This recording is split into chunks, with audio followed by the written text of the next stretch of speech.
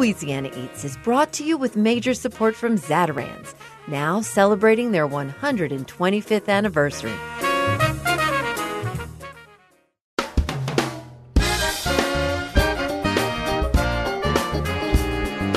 From WWNO New Orleans, this is Louisiana Eats. I'm Poppy Tooker. The art of distilling has deep roots in America. It's a craft learned on the job, passed from one master distiller to another. This week, we have the honor of talking turkey. Wild turkey, that is, with Jimmy Russell. He's been making wild turkey bourbon in Lawrenceburg, Kentucky for 60 years. Conversely, Allen Katz is a member of American Distilling's New Guard. We talk gin with Allen, and then Jackie Summers introduces us to Sorrel, a magical sip straight from the Caribbean islands. Let's all belly up to the bar on this week's Louisiana Eats.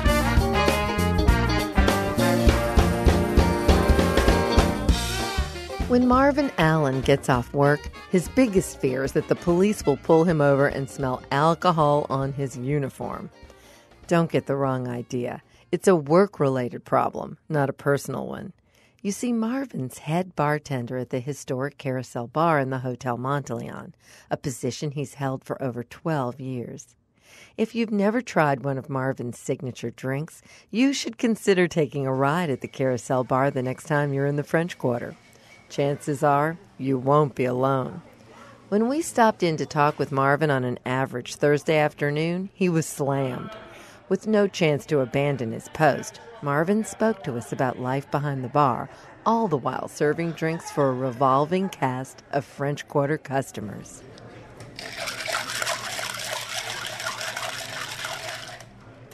I'm Marvin Allen here at the um, Carousel Bar in the historic Monteleone Hotel. I've been a bartender, head bartender, whatever you want to call me, for um, 12 years. Prior to that, I was at it was at Crowne Plaza, now the W Hotel. Was there for about 13 years. Prior to that, I was actually in uh, restaurant management. And what had happened, I was extremely burned out. 15, 18 hour days, six, seven, eight days a week. Um, so I decided I was going to bartend or wait tables six months, maybe a year, then really get back into restaurant management.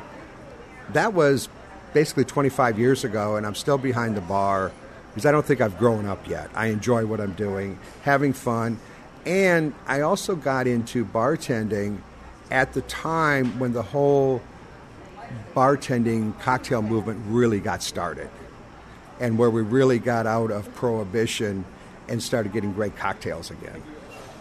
I've been kind of evolving with the whole movement as it's gone. Well, I imagine you have a great amount of fun working behind that bar at the carousel. I really do because the people come in from all walks of life, all over the world, all over the country. The people that stay here in the hotel, of course, come down, but we get so many more just coming in from the front doors. You'll see uh, different political figures in here, sports figures, um, get music people coming in. It just everybody comes through. Last week I was up actually up in Michigan, visited three different bars up there, and there were great bars, great restaurants, but they didn't have the ambiance that we did. The bar didn't move, and they actually depended on people to actually drive up, make a point of going there.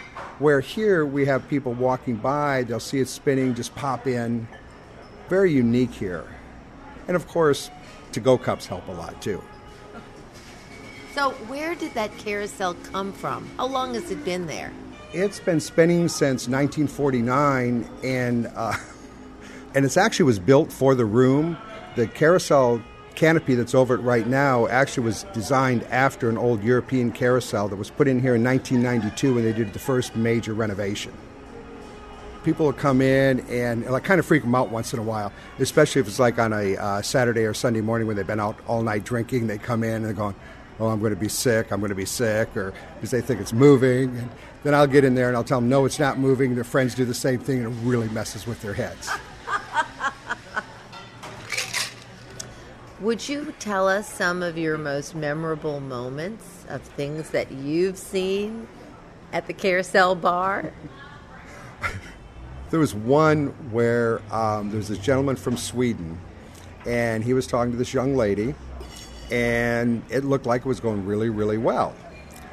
Until all of a sudden she dropped him like a hot potato because her husband was on the other side of the bar watching, and that was their thing. oh my goodness. then there was this one time, this was really funny. There was this um, lady that came in, probably in her mid 60s, very, very well dressed, and you could tell she was dripping with money. And so we're sitting there talking, and finally she says, I need to ask you a question. I said, Okay. Do you know where Colette's is? And I'm going, man, that sounds familiar, but I can't quite place it. Let me wait on these other people. I'll get right back with you. And so a few minutes later, I go back. I said, you know, I'm really sorry. I can't place it, but I do know. Just sounds really familiar. If you can tell me what kind of food they serve, I might be able to help you because a lot of times people come in, they get names wrong, and you kind of figure out from the food everything else. Oh, honey, it's not a restaurant; it's a swingers club. I'm going. I have no idea. it was the last thing I expected. One night, um, Billy Joel popped in to play the piano. Well, that's pretty exciting. It was. I wasn't here, unfortunately, but two days later, I had something what I think is even more exciting. I came in to set up the bar for work. Allen Toussaint was in here playing the piano. I got a private concert of Allen Toussaint doesn't get any better it does. than that. you know, 10 o'clock in the morning, listen to Allen Toussaint play and sing. He was supposed to be doing an interview, which he did, but the music was even more. I'm like, this is great. When you are working here, do you ever just invent something special for a client? How, how do you go about custom tailoring a special cocktail? Yes, I do. And what happens is somebody comes in, I don't know what I want, things like that. What I start out with is the base spirit. And just kind of go with some flavors that they have. What we have back there, we got you know fresh strawberries, fresh cucumbers, the fresh citrus. So we can do all kinds of fun things. And throughout you know my experience and stuff of tasting different uh, liquors, I got a good sense of what they taste like, what's going to go with what, and just build it from there. Marvin, shaking a cocktail. It's a it's a technique that I think for some reason the amateurs they're a little afraid of the cocktail shaker. Would you explain the proper use of the cocktail shaker? I think they're afraid to do it sometimes because they think it's going to be like that blender accident they had one time. You want to use a shaker and shaking when it's alcohol with a mixer. If you just have plain alcohol, you just want to stir it, like a gin martini, just basically stir. But the minute you want to put juice or cream or something in there, you want to shake it vigorously to infuse the flavors. Don't be afraid to shake. There are, quote, proper techniques to shake. Basic one is put the top on. If you can pick the top up and the bottom stays on, you've got a great seal. Use both hands to shake, you're done. You're not going to have that blender accident there will be bartenders that will tell you, oh, yes, you've got to shake it at this particular way for this many minutes and doing it this way because the ice then will dilute, will do this, will do that. Yes, it might, but not enough for the average person to distinguish that. Um, and my philosophy is too if you like it, it's good. Have fun. Don't get caught up in the details. If you like what you've created, it's a great cocktail. It doesn't matter if it's five cents or $5,000. You like it, that's all that matters. That's Marvin Allen, head bartender of the Carousel Bar and author of Magic in a Shaker.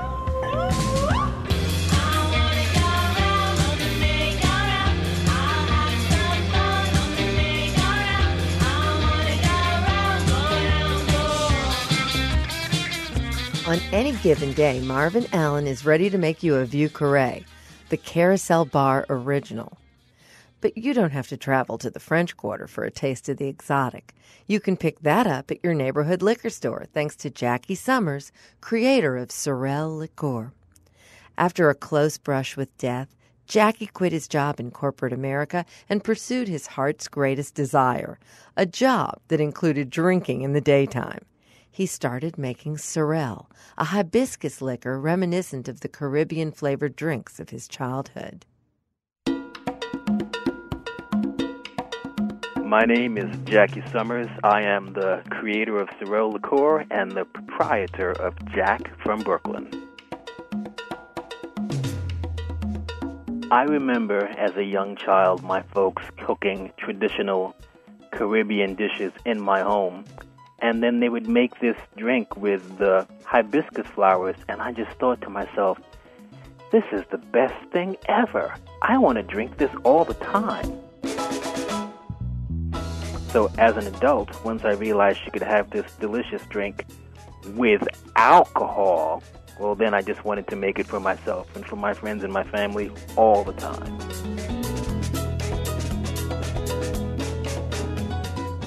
The ingredients of sorrel are no secret.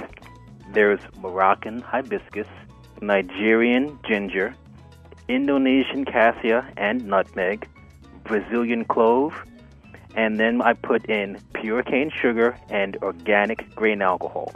There are no colorants, there are no flavorants, that is the sum and total of the ingredients.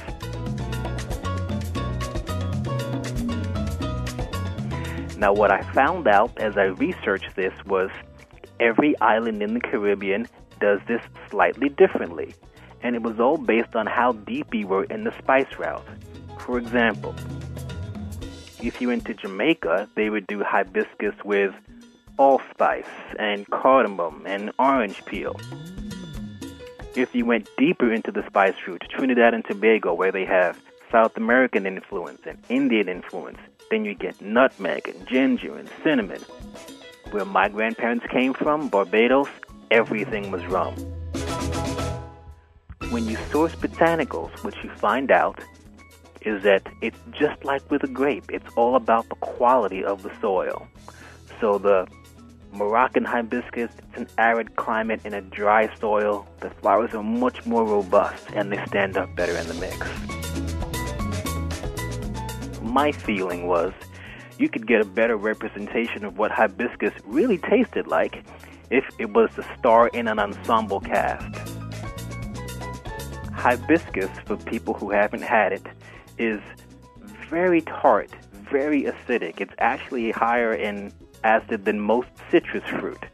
But what most people tend to do to compensate for the acidity of the hibiscus is overcut it with sugar. And then it's syrupy and cloying and just not fun. My version of this beverage, which has been around for centuries, has clove on top for brightness. It's got cinnamon notes in the middle for warmth and pepper the ginger almost perfectly masks the heat of the alcohol. So you never actually taste booze, you just feel booze. And that woody note on bottom and the back, the dry finish, that's nutmeg. So instead of it being a single flavor, it is a procession of flavors.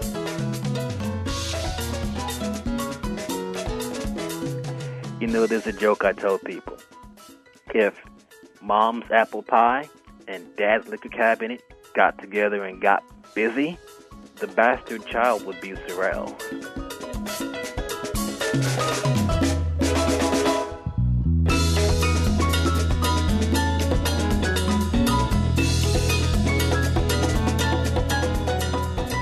That was Jackie Summers, creator of Sorel Liqueur. Production's up to a thousand liters a day, so if you can't find a bottle at your neighborhood liquor store, Visit Jackie online at jackfrombrooklyn.com.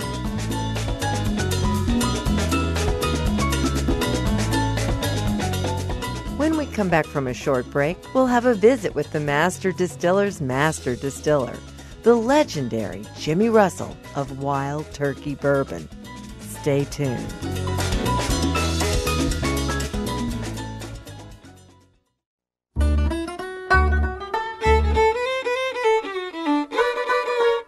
Poppy Tooker, and you're listening to Louisiana Eats, edible content for Louisiana food lovers.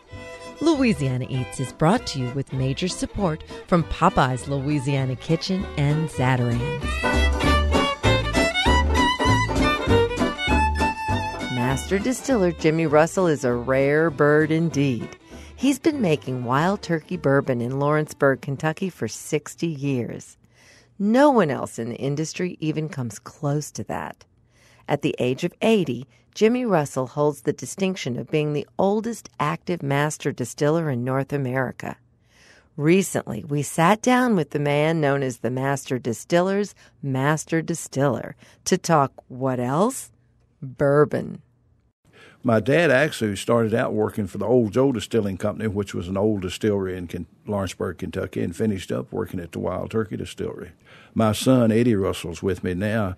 He he says he's new in the business. He's only been there 33 years now. Most all the people at the Wild Turkey Distillery has been there. Our average length of service right now about 180 employees. It's 25 years uh, service average. It's all tradition, family with Wild Turkey. We we consider ourselves the traditional family way of making Wild Turkey bourbon. So, who was your mentor at Wild Turkey in the early days? Well, Mr. Bill Hughes was a master distiller when I went there. And uh, he was a young distiller for Prohibition, and he come back and put the distillery in operation. I wasn't kin to him or anything, but more or less he took me under his wing. I started out in quality control. Quality control back in that day and time is a little different to us now. You know, we'd go get our samples, we run tests on their grains of corn, rye, barley malt, fermenters, and everything we'd run, we might end up up in the grain truck shoveling it out before the day's over with. Nowadays, in quality control, you go get the samples and you take it to the labs and they do all the analysis there. But, but back in that day and time, you'd done just a little bit of everything. That's really amazing. So, Tell me, how do you become the master distiller? Well, I tease and cut up all the time. Nobody else would have the job. no, it was uh, fortunate that he took me under his wing and started training, and he retired somewhere in the middle 60s and I took over as master distiller. So I've been master distiller since the middle '60s at the Wild Turkey. So Distillery. you were less than 20 years on the job when you got that oh, yes, designation. Yes, yes uh-huh. How many other master distillers have you trained during your 60 years? Well, uh, it's been several of them, but uh, most of them, my son, uh, a couple, three more. They're uh, some of them is retired now.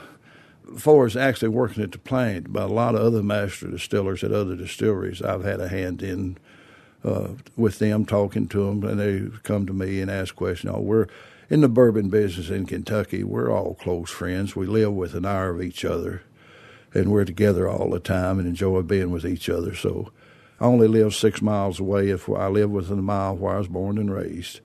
My wife worked at the distillery before I did. She was in administration then, and she we were married, and she was working there, and I went to work out there. And then when our children come along, she stayed home and took care of the children. So you met her at the distillery? No, we went through school together. Oh, she was your high school sweetheart? My high school sweetheart. That's really, really lovely. I'd like to know about when you look back over your 60 years in the business, what are the major milestones that you feel like you came to? Well, the thing that I see, uh, you know, basically back when I started, everything was bottled at around 100 proof. We didn't have the lower proof products. Now you have the lower proof, but we're going. I see a big trend going back to the higher proof products now, not only in bourbons but scotches and everything else. But the big trend has been is the small batches, the single barrels and things like that. That's been the biggest trend. And then another thing, you young people, you know, in my age group, old men, they went to their favorite bar in the afternoon, got off of work, they got their bourbon, they got their cigars, and went to the back room and played cards. Nowadays, we we run from 21 to my age. Uh, everybody's drinking, and one of the big things to me is the lady, you ladies. In my younger days, ladies, unless you're maybe here in Louisiana and Kentucky, you didn't go to the bars or anything. You didn't go to the liquor stores. Nowadays, most of the product is bought by you ladies, and I tease and cut up all the time. You made the labels look a lot better. You know, us old men, we knew where our bottle sat on the shelf and we'd go get it, pay for it, and get home. If you changed position on the shelf, we got home with the wrong bottle. Nowadays, if you're like my wife, the labels looks a lot better because you're going to pick it up and look at that turkey. Look at them feathers. How's what's it say on the back label? You read everything on it. Us old men, we didn't pay attention to that. We just want to know what was inside, drinking what was inside that bottle. and the export market has been tremendous. The last we're huge in Australia and Japan. Really, big markets for us. Uh, uh back in late '80s, early '90s. Uh, in my beginning, it was a Southern gentleman's drink. It's a worldwide drink now. Tell us a little bit about how you make bourbon and the important elements that make a great bourbon great. Well, in bourbons, uh, you know, our federal government tells you how it's the most heavily regulated product in the world. It has to be made from at least 51% corn, has to be distilled under 160 proof, must be put in a new charred oak barrel at 125 proof or less. So, in our process, we use less corn and more rye and barley malt. Uh, it gives you more body, more. That's the way traditional old bourbons were made. Uh, your yeast plays an important factor. We have our own yeast at the Wild Turkey Distillery. We make our yeast every day, and all I can vouch for the yeast. It's at least 59 years old. It was there when I got there, and we're still making it using the same yeast. And uh, some people use corn, wheat, and barley malt, but most bourbon distilleries are corn, rye, and barley. And there's got, something a little special about that Kentucky water too. You got to have good limestone water, good grains, good yeast, and the formulas, and we have all that, and a good barrel very important. We use the number four char, the heavy char. We call it the alligator skin. Our storage buildings are seven stories tall, metal clad buildings, metal roofs, just rolled in and on ricks. We open the windows in the summertime to get the good air circulation. The wintertime we close them. We want that barrel to breathe. In the summertime it expands out into that wood. And when you char in white oak, you're caramelizing the sugars and the vanillas and all. In the wintertime, it extracts in and out. You've got to have that breathing. It's got to move in and out. If it went in that wood and stayed all the time, it wouldn't age. Or if it never got into wood, it wouldn't age. So you got to have that movement in. In the way we age wild turkey, in eight years, we lose about a third of our, every barrel. That, that's what's referred to as the angel the share. angel share. We got a lot of happy angels around our area. I'm sure they are. And sometimes I think it's a little different than that too. We talk about the single barrels. We call those the sugar barrels. The people that work in those storage buildings all the time knows where the best tasting barrels are. and they always have a little piece of hose laying there and little cups that they always get to taste. We lose a lot more than a third out of those barrels. Uh, we got a lot of angels working in there. what better can you be when you're in the bourbon business and you get to enjoy the life that you enjoy? Looking back, you've described the incredible changes that you've seen happen over the last 60 years. If you could look into a crystal ball and project what you think the bourbon industry might be doing in America and abroad, what do you think might happen? Well, I, I look for it to even grow more and more, and I hope so because we're making, you know, we're not making something today to sell tomorrow we got to plan well in advance at Wild Turkey, eight to twelve years in advance all the time. If we wait up till the time it comes around, we won't have the product. Yeah, uh, that's true. That's happened to us right now in the rye business. Really, rye whiskey is uh, short right now. Straight rye whiskeys. Uh, back seven, generally, or just Wild Turkey? No, all rye. Uh, How did that happen? Well, seven eight years ago, us and Jim Beam was about the only two ryes. Rye whiskey is excellent in mixed drinks and we'd sort of got away from them. And now we've went back to a lot of the mixed drinks, the cocktails and all. And the rye market shot straight up at one time, and nobody saw that. We was making one or two days of rye a year and 300 days of bourbon, and now I hope the rye market keeps going because we've got a lot of rye whiskey we're putting away right now. Seven, eight years from now, we we've been on allocations for three or four years. We're still on allocations on our rye whiskey because we didn't see the future that it was going to do that. Well, what what are the trends you see with those micro distilleries? We're better educated now. We call it micro distillery starting up. That's the way all the bourbon distilleries got started. Was little family owned distilleries starting up, and then over the years, consolidations and buying up by bigger corporations. But all over America, you know, for many years, people thought bourbon could only be made in Kentucky. But Kentucky, uh, bourbon is a true American spirit, the only spirit in the world was born bred, born, and raised in Kentucky, but you can make bourbon anywhere in the United States. Well, I heard that you have been regarded in the industry as the Buddha of bourbon and the master distiller's master distiller. So, how do you see your place in America's bourbon world? Well, to me, I just want to be plain old Jimmy like I've always been. I don't want to be uh, up any better than anybody else. Uh, we're all the same to me. It's one thing I hope everybody sees me is just plain old Jimmy like I've always been. That's what I want to be. Well, plain old Jimmy is surely getting some big honors because let's see. First of all, uh, it's been declared the year of Jimmy Russell in the bourbon industry. And I'd like to know what it means to you personally that Wild Turkey decided to create a special anniversary bottled bourbon for you, the Diamond Anniversary Bourbon. What does that mean? Well, it's something special. And my son really is the one selected the bourbon for this. He put it together, and then uh, for my 50th anniversary, they done the same thing.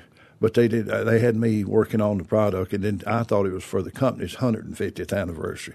I didn't even know it was for me until the day it was bottled. And now this is my 60th, and Eddie told everybody he selected the bourbon. It's a 13 and 16 year old bourbon. I've got to give you my personal taste. Most of your bourbons are four and five years old on the market. To me, they haven't matured enough at that age. I think from around six to 12 or 13. I don't like a real old bourbon. We have to use a new barrel every time. And you lose that caramel, vanilla, sweetness. Uh, you get too much real woody taste and all the older it gets. A lot of people like the woody taste. If they do, they like her older. But my personal taste, I don't. And they had the 16 year old that Eddie had set aside several years ago for my 60th. And then he knew that it was a little too woody for me. So he put some 13 year old in it to cut down the, the woody taste. And the thing that I'm proud of, being my son, uh, it's got one of the highest ratings it's, I've ever seen. It had a rating of a 97 out of possible 100 in the tasting. Actually, the only place you can get it right now is at the distillery. We have, it's been over $100 million spent on the Wild Turkey Distillery in the last five or six years. A new distillery, new bottle, and new visitor center. And uh, April 15th, we had the ribbon cutting ceremonies for the new visitor center. So he bottled up a few special cases only for the visitor center, the diamond package. We had visitors from all over the world. All the master distillers showed up that day. I was proud of that, and the governor of the state of Kentucky. They were all our senators, representatives, and everybody was there. So we had a, a great day that day. Been fortunate. I've had a good working relationship with all the governors of Kentucky. Well, this has been a distinct and remarkable honor to have this chance to sit down with you. Thank you so much. Well, it's my pleasure. Thank you. Invite everybody to come and visit with us. I hope you'll come and visit with us. And I hope when you do come by the Wild Turkey Distillery, you'll ask the visitor center if, if I'm there. I'd be glad to come and show you around. I'd be glad to have you anytime or uh, anybody. I try. That's one thing. It I said I'm plain old Jimmy.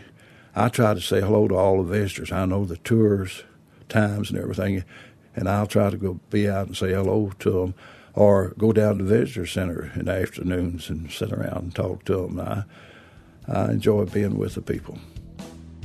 Wild Turkey Bourbon's master distiller, Jimmy Russell. I got me a pet in my penthouse. He don't bother me. He ain't no poodle, no pony. Just a little wild turkey, and we drink alone. Now that we have master distiller Jimmy Russell's bourbon sitting right next to Jackie Summers' Sorel liqueur, the only thing left to do is make a cocktail. This cocktail is one of Jackie's favorites. He named it the Last Call. Just mix together two parts bourbon with one part Sorel. Swirl the liquors in the glass, mixing the two together, and let it breathe for a minute. Cup the glass between your palms to slightly warm the liquors. Then take a long whiff of the magical scent. The vanilla and honey tones of the bourbon commingle with the cloves, ginger, and flowery hibiscus. Hold your glass up to the light to enjoy the deep, rich ruby color of the last call. It's the perfect ending to any evening, and the way that Jackie Summers likes to end his day. Bottoms up. This is Louisiana Eats. Last call for alcohol. So what you want? I want bourbon, one scotch, one beer. If you want to know about what's going on in Shreveport's food scene, just ask our roving reporter, Chris J. Chris, welcome back. I can't wait to hear what's going on up north. Thanks for having me back, Poppy. I love being here. So what's happening? Oh, well, I wanted to take you to the Longwood General Store. This place is unlike any other place I've ever been. It's in Blanchard, Louisiana on Highway 169, just outside of Shreveport, kind of almost to Texas. Okay. So, um, uh, north and west of Shreveport. But this place is one of those, and don't don't judge it too quickly, but it's a restaurant located inside of a convenience store, okay? So we've, we've been to a million of those in Louisiana. We're really good at those in Louisiana. This one's different. All they do is ribeye steaks. And they're incredibly affordable. A nine ounce for like $13, a 16 ounce for about 20 bucks. And they're just incredibly well done. You're sitting in this dining room, literally in the middle of a grocery store. So you've got, um, you know, your sundries to your left, your toilet paper, your snacks, your cookies all around you. But there's a dining room right in the center of all that. And you can get cocktails there too and I'm not making this up. This place is sort of like where I'm going to go when I die. Cocktails are about 20 ounces and they're $3. So, I mean, this is not cure, okay? this is maybe not sophistication, but you're going to get big, tall, boozy drinks for about three bucks. How long do you think it's been around? It's been there over 30 years. over 30 years. I only recently discovered it. People kept telling me, Have you been out to that store in Longwood? Have you been out to that store in Longwood? It's about a 25 minute drive from Shreveport. But I made the trek and I've since gone several times just in the last couple of weeks. There's something so free of any pretension there.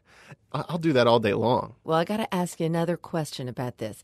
One of the hallmarks of most great steakhouses are the sides. So, what else do you get besides the meat? Most folks, when the steak comes out, you're going to see a baked potato on the platter, and the baked potato is kind of there as a courtesy. You know, you get the feeling that we're all there to engage in this ritual of eating an enormous steak. I mean, they have a 48 ounce steak on the menu, which is completely insane. I've never seen that come out of the kitchen.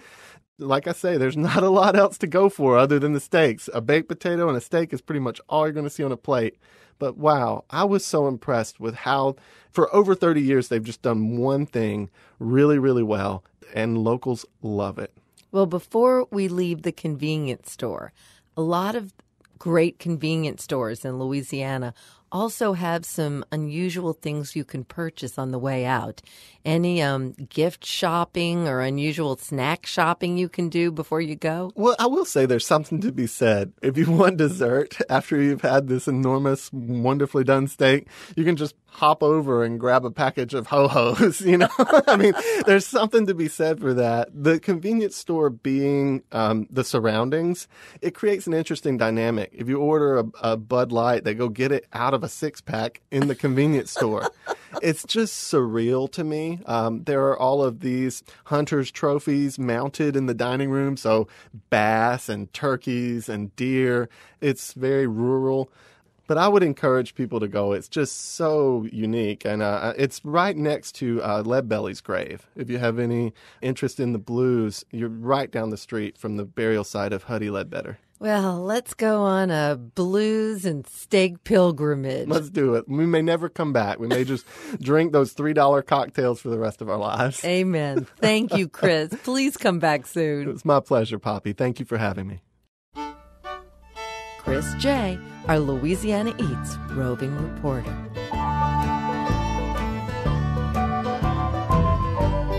What's the proper way to flambe? Don't go anywhere. We'll answer that question when we come right back. Well, I've been turnstile, junk pile, and railroaded too.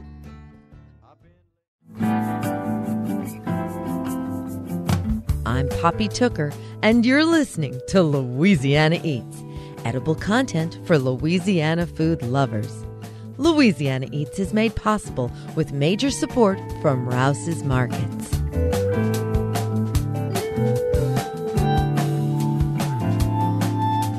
Here's this week's culinary quiz question brought to you with support from Popeye's Louisiana Culinary Institute. What's the proper way to flambe? The most important thing is not to pour the liquor straight from the bottle into the hot pan.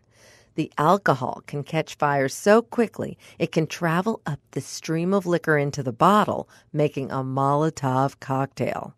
That will ruin your dinner party. Instead, pour the liquor out into a separate container before adding it to the pan. If you're cooking on a gas flame, tilt the pan towards the fire, and within a few seconds, the alcohol should ignite. Another easy method is to pour the liquor into a ladle and heat it until the evaporation begins. Those wispy tendrils of steam are easily lit with a match. The real showstopper? Toss a pinch of cinnamon into the flames and you'll have some real fireworks. I'm Poppy Tooker, and you're listening to Louisiana Eats. I jumped out of the frying pan, right into the fire. A cheating man, found count liar.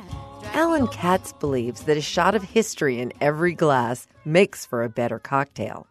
Allen's co founder of New York Distillery in Brooklyn, where he crafts Perry's Tot Navy Strength Gin and Dorothy Parker American Gin. We recently spoke with Allen about starting a new distillery and what makes his gin so special. Allen, I'd like to know how you decided to open your own distillery. Well, it's a, actually a fairly good story, I think. Uh, I was interested in the broader spectrum of food and drink, and I had a wonderful opportunity many years ago to go and live and work in Italy in a food sense. I was working at a cooking school, and I had never been in such close proximity to the food that we were actually using in the kitchen. I really didn't travel extensively on that trip, but it absolutely piqued my curiosity as to what might be um, an authentic American gastronomy. And over the years, I had many occasions to contemplate that question, and I could really only come up with two genuine answers one being barbecue of the American South, and the other being cocktails. And I went off on the deep end of cocktails. And I had bartended a little bit and I had worked in restaurants, but not with a, a penchant curiosity or a focus on why are we selecting this rum above all others for our house daiquiri or what is the rationale for the ratio in a specific recipe and ultimately in a desire to one work for myself and two actually be a manufacturer of, of something uh, it, it led me to an interest in distilling So, how do you set out to open a distillery? Well, I laugh at myself uh, with that question because the truth is, for me personally, uh, I set out to open a distillery oh about 12 years ago. Oh. And but I say that with a laugh to myself because the truth is I was playing games with myself for half that time and didn't really get serious about it until about uh, five and a half or six years ago. And the truth is I had the good fortune to meet uh, one of my business partners, Tom Potter, whose expertise was really in running a small beverage alcohol business, uh, having uh, originally co founded the Brooklyn Brewery uh, in New York City. And Tom was the business guy strength, and I was the spirits guy and cocktail guy strength. And it was a very nice uh, match. And once we actually did sit down and say, hey, let's work on this together, you know, the road is a little bit slippery. And it was absolutely work. Some of it was hard work, but it wasn't overwhelming. It was a, a fairly reasonable road for us to go from concept. It did take a little over two years to go from that point to actually opening the doors to the public. There is a beyond burgeoning community of what I prefer to call boutique distilleries in this country. And at the present, there are probably 600 companies in some veins similar to ours at the New York Distilling Company. And I would bet that two or three years from now, there might be 2,500. Do you anticipate that as a whole they will impact big liquor? That's a great question. And to give it some context from my experience, when we talk about big liquor, the, really the bigger umbrella is the alcohol universe. And I always look at big liquor, as you call it, differently than big wine and big beer. So when we talk about big and little, if you will, in those scenarios, big beer, we could all generally agree, is it's not awful, but it's modest, agreeable, rarely special beer. And it's really the craft brewers who have re engaged a, a beer drinking public with special craft brews. And I would argue that there's similarities in the wine world as well.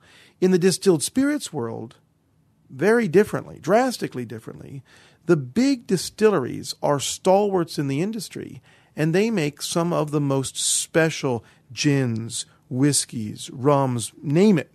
And there is a quality product, an exceedingly high quality product that comes from a big liquor player.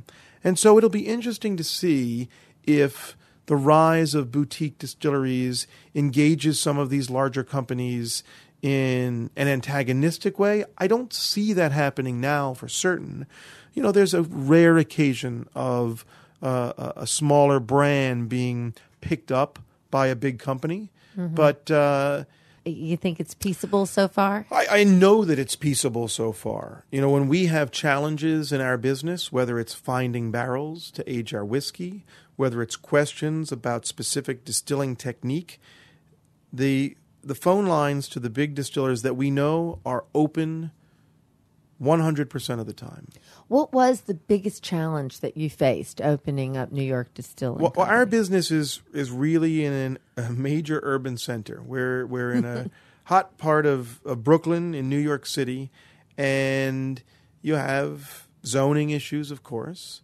Uh, but it's really the, the two areas uh, we're dealing with the Department of Buildings and dealings with the Environmental Protection Agency, and the Department of Buildings simply has codes of how things can be built, and we had decided to take over an existing space that was essentially defunct, and to get it to code uh, was a challenge. And we knew that it would be a little bit of a challenge going in because it was a very raw space, but we didn't quite anticipate uh, how much of a hurdle uh, working with this space and getting it to Hmm. the point of acceptability would be.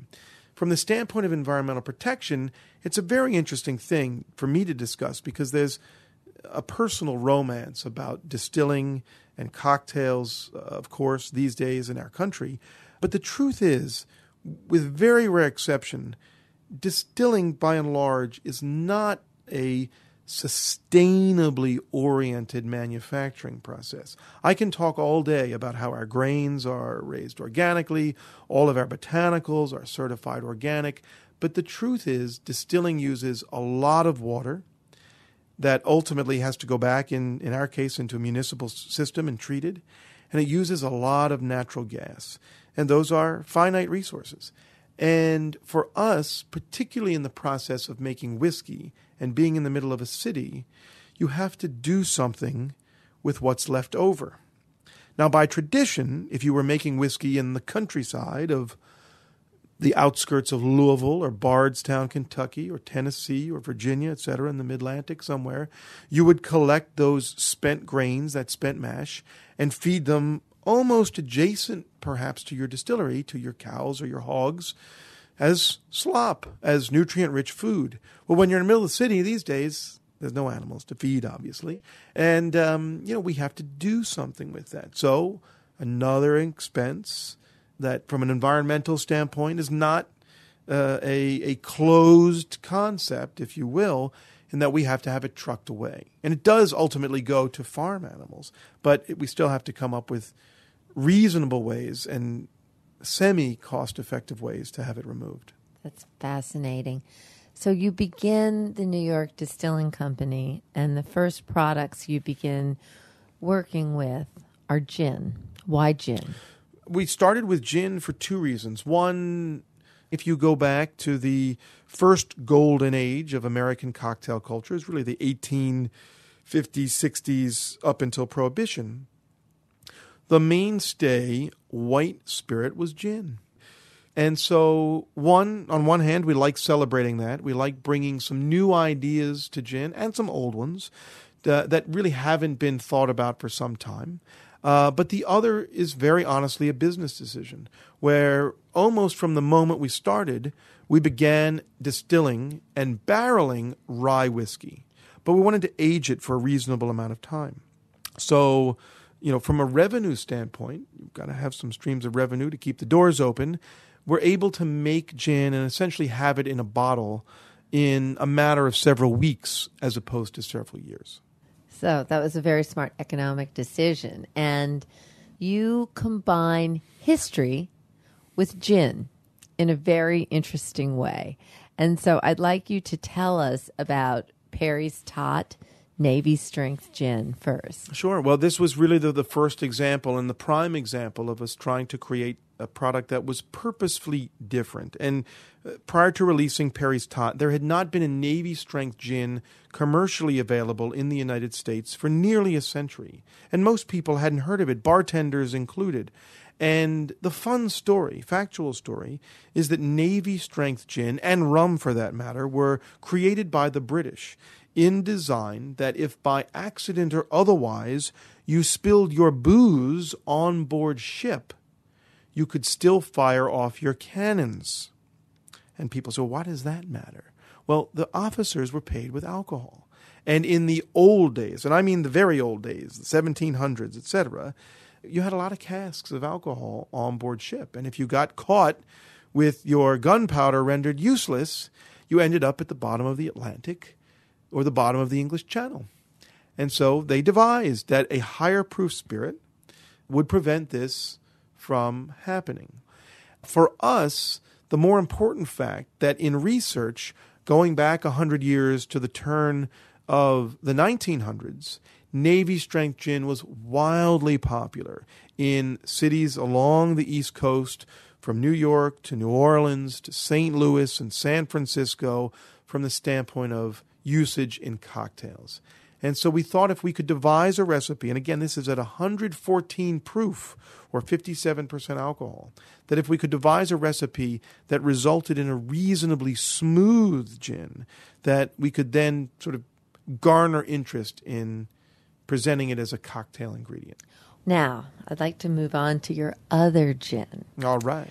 The bottom line is, uh, for me personally, I wanted to name a product for a woman and could think of no better woman to name a product for. Particularly a gin. Particularly a gin, and that's Dorothy Parker.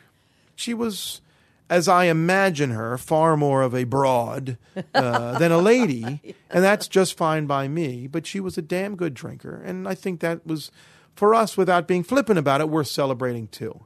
This is a more contemporary style gin. Both of our gins are uh, heavy with juniper as a backbone of, of the distilled spirit. Uh, and then they have some spices like coriander and a little bit of cinnamon or uh, star anise or green cardamom pods, depending on which gin. Uh, and we balance that out with a little bit of citrus, always, of course. Uh, but in the case of the Dorothy Parker gin, we have what we would call uh, two contemporary botanicals. One is elderberry, and the other is dried hibiscus petals. And on the nose and palate, if you just taste it neat, it gives it a floral or fruit forward quality. The key for us, coming from a, a, cocktail background, is its versatility in making mixed drinks with it. That's all that matters. And that when you make any manner of gin sour or the equally popular bitter-esque style of cocktail like a Negroni, that in both cases that fruit or floral quality just recesses to the background and makes for a very well-balanced cocktail. That was New York Distillery co-founder Allen Katz. Next time you're at a bar, try ordering a Negroni made with Dorothy Parker gin. It's the next best thing to having a cocktail with Dorothy Parker herself. I begged of a star to throw me a beam or two. That's it for this week's edition of Louisiana Eats, edible content for Louisiana food lovers. Tune in next week when we go into the vineyards to pick some grapes. We did give you orange gloves, so if there is an accident, you'll see the blood come through the glove. No, but but but if, if the, the finger does get detached, it's much easier to see with an orange glove on. Subscribe to our podcast. Hear today's show or catch up on previous editions anytime online at itsneworleans.com. Louisiana Eats is made possible with major support from Popeye's Louisiana Kitchen, Rouse's Markets, and Zatarain's. Additional support for Louisiana Eats is provided by Dickie Brennan and Company and Linda Green, the Ya-Ka-Mein Ladies Soul Food Catering. Our media sponsor is Louisiana Life Magazine, the magazine of a great state. Original theme music by Johnny Sketch and the Dirty Notes. Thanks to executive producer Thomas Walsh and sound engineer Joe Schreiner. I'm Poppy Tooker. We'll see you next time. Louisiana Eats is a production of WWNO and the University of New Orleans.